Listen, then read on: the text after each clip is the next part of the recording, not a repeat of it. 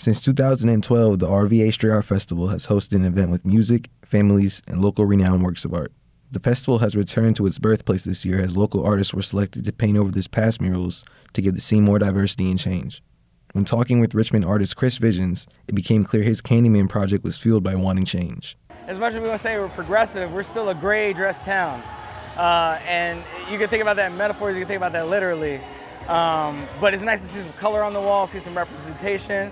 Although today is a bittersweet moment as the murals are getting painted over, it still ushers in a new era of new paintings and new artists to come. Uh, so I think it's all out of respect for the people that were already there, um, but also just ushering in a new chapter into Richmond. According to event director John Baliles, a new chapter with new voices to be heard is just what the city needs. You know, every city needs to turn over a new leaf, and, and the great thing about this week has been the, the artists that I've met that I didn't know 10 years ago, and they brought such a different perspective and uh, level of energy and creativity.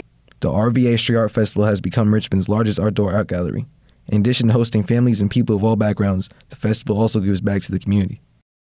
And this year, it's going to be uh, the Richmond Public Schools arts education programs that get the proceeds from the festival.